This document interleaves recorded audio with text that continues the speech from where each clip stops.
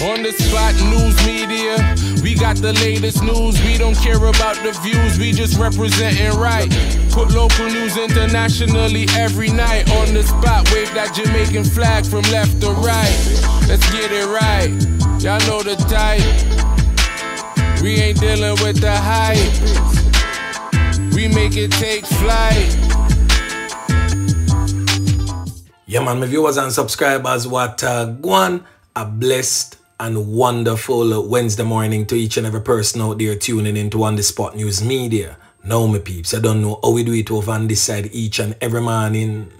We have to give thanks and praise to the Most High Creator for the preservation of life because life is indeed the greatest.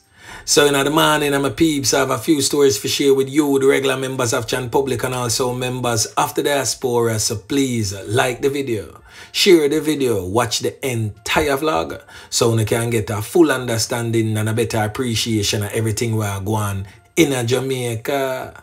So watch your snow, my peeps. Uh, in the morning, here, we're going to kick it off with some international stories coming out of Sacramento in California really, really funny, but definitely really, really very serious. Now I'm going to play a video footage for you of two men who stole two boxes. The boxes are said to be laden with vegetable matter resembling the good old sensimania. Yeah, man. Now it is said that the boxes were slated to be delivered, but two criminal elements stole the boxes. The boxes, you don't know, say once you send off a package in America, you can track your shipment. So of course, the boxes had on the trackers. The boxes were tracked and it led them to a home occupied by Jamaicans. Yeah, man. Now on your screen, watch. Can I pause it? No. See my take up your box there. Look at And he took the other box that was on top. He knew exactly which box Look. to take. That's the guy who said, oh, we don't need a ship anymore. Then they run to the car. Hmm. And we're just like, what? You can't just leave like that. You, where are you? Where are you? What one? What one? Now this story on the Spot News Media will most definitely be doing some digging to further unearth the criminal network. Now, any one of you regular members of Chan Public out there, yard or abroad, notice any one of the faces that was posted in that video. Please link on the Spot News Media. Yeah, man. Now back to local style.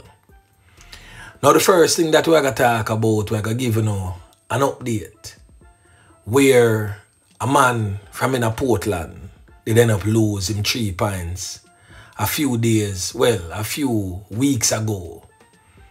And eight men were caught by the police. Now the police have officially charged the eight criminal elements. Now, the Portland Police Division have charged eight people in relation to the fatal knockings and clappings of a man at his home in Bamboo Tree Lane in Fairy Hill District in the parish on August 7. The police stated that they have followed weeks of intense investigation. Three of the eight have officially been charged with murder. The three are listed as 31 year old Shane Phillips, otherwise known as Taliban, a 19 year old identified as Dominique Perkins, but more popularly known in the criminal underworld as Kente. A 18 year old has also been charged with murder. He has since been identified as Raheem Dixon, but more popularly known in the criminal underworld as Squidly. They are all from St. Andrew and a few from St. Catherine addresses. Now, meanwhile, the additional five, including a teenage boy, are charged with conspiracy to the murder. So watch this now. They have since been identified as 30-year-old taxi operator Xavier Carty, 21-year-old so-called landscaper Chad Hilton, 19-year-old so-called blackmaker Fabian McIntosh, and 19-year-old Cavan Jacobs, a 17-year-old boy of a Manningsville Road address in Kingston 8. Now what really go on with the brother? He's presently on your screen. Detectives stated that sometime around 11.45 a.m., basically middle day that, 12 o'clock almost, this 50-year-old man presently on your screen identified as Orlando Loudon was at his home when two armed criminal elements with handguns pounced upon him and can him up several times, leaving him lifeless. The men attempted to escape, but the quick response of the Portland police saw three vehicles being intercepted on the Paisley Main Road in the parish shortly after the incident took place. The occupants of the vehicle were all arrested and the investigators continued their probe. Two firearms were reportedly seized when the investigators carried out systematic searches of the motor vehicles in the days following the incident charges of the fatal knockings and clappings and conspiracy to the fatal knockings and clappings were subsequently laid against the eight men after detectives completed their lines of inquiry and conducted interviews with the men. Their court date is now being finalized. Yeah, man. So another decent spot of work again by the squad of them. Now another update a man end up losing three points from injuries received during a knockings and clappings involving an off-duty police officer over there in the New Green area, New Acres Drive in Mandeville, Manchester on Sunday. He has since been identified as Hopeton Brian, a 40-year-old labour said to be from a Somerset address in the parish.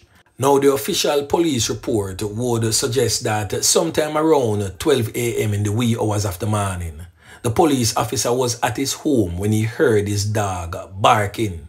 It is said that he went outside to investigate. The lawman stated that he saw two men, one of whom was armed with a firearm and pointed the said firearm at him. The policeman then discharged one round from his service pistol in the direction of the men. The police stated that they were alerted by the off-duty cop and upon their arrival, Mr. Bryan was seen laying on the ground with a one corner wound to his neck. The matter was, however, reported to the Independent Commission of Investigations for their probe.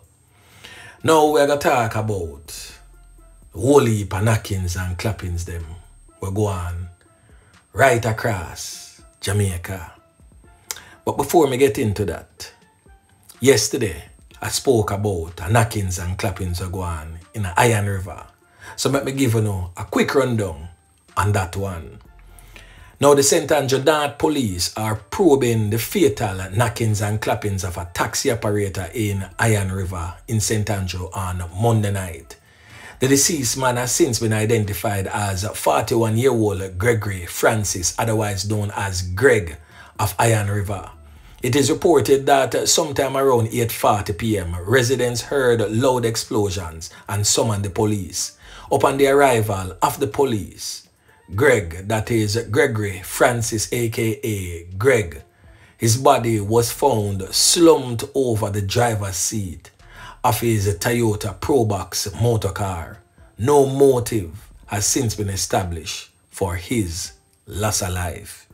Now, a whole heap of things we notice here go on in and around the General, Constant Spring, Stony Hill, all of that here and there since the other day. And it is most definitely worrying.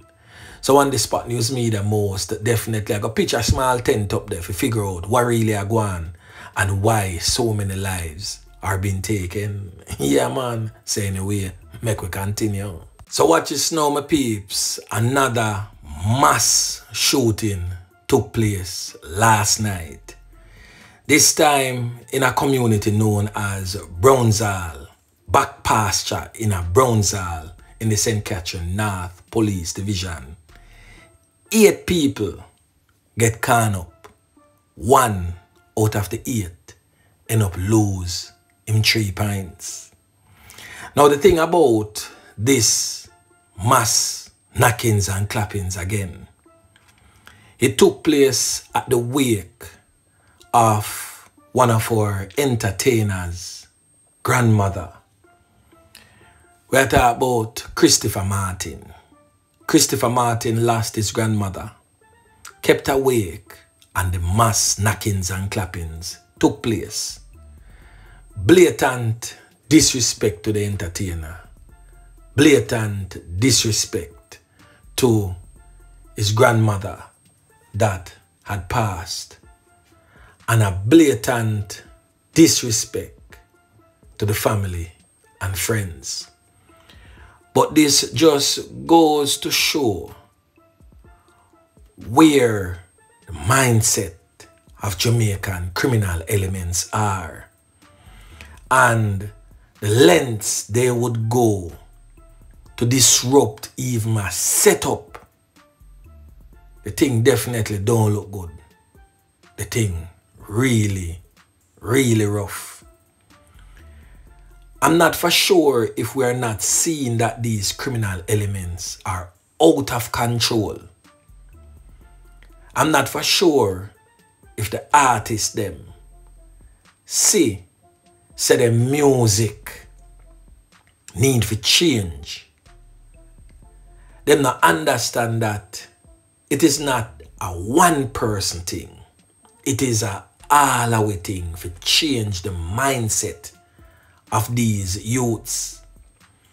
And when me done speak about the atrocities that unfolded last night, like a play a video, a prison video, a recording done by a prisoner. And when you see all of what that I will be showing, it just makes me wonder why these young men continue to do the very thing that will either land them six feet under or 35 to life in that hellhole called prison. Now that took place at that wake for Christopher Martin's grandmother. Now in the St. Andrew North Police Division, a fatal knockings and clappings took place along Blue Mountain Road. And on the Spot News Media will be expounding on that in subsequent newscast where the life of a man identified as Marlon Newsom, 26 years old, was taken.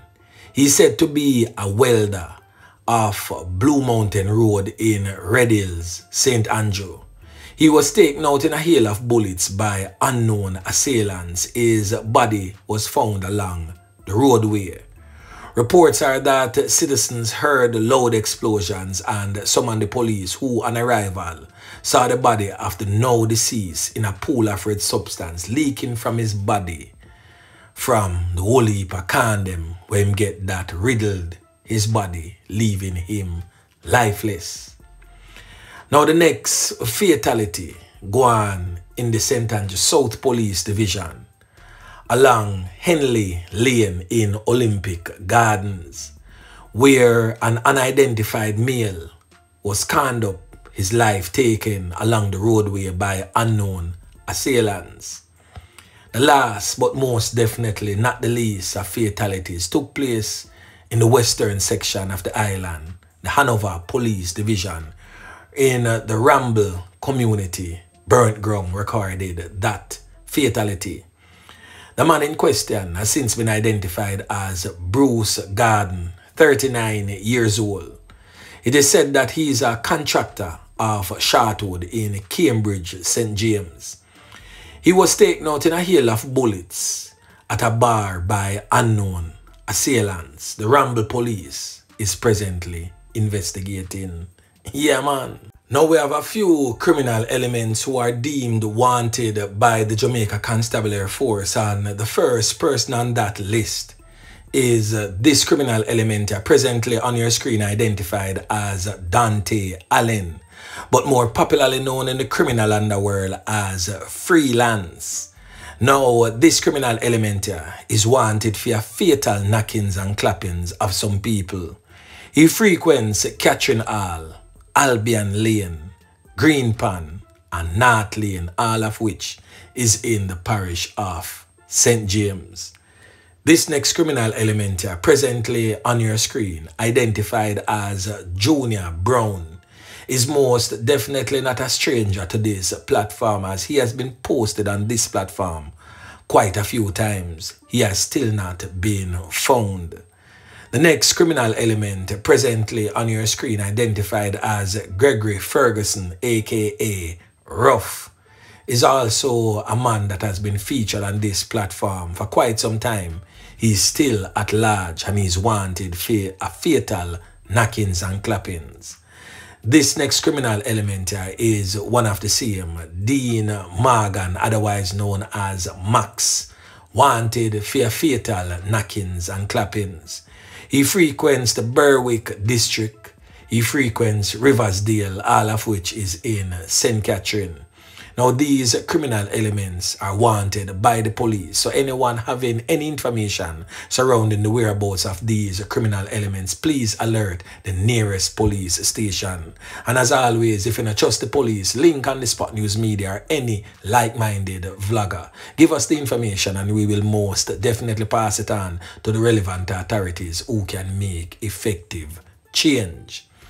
Now the last thing that we are going to talk about is a fatal knockings and clappings that took place in the community of Grants Pen in the St. Andrew North Police Division sometime between Thursday night and Friday morning of last week. The person that end up lose Theme Tree Pines is presently on your screen and he has since been identified as Cruz Moody. Maybe I got the first name wrong but Cruz Moody is what I got. Now he originated from Mobile St. James, but was living in the Grants Pen community for quite some time.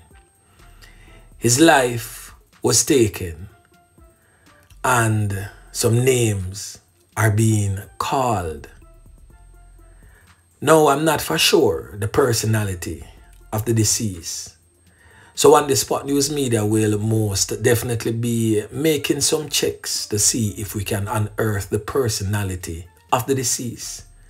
And also to check out the Nakis and Clappis whose name is being called on his fatal knockings and clappings and see if we can tie in everything together if you make it make sense. yeah, man.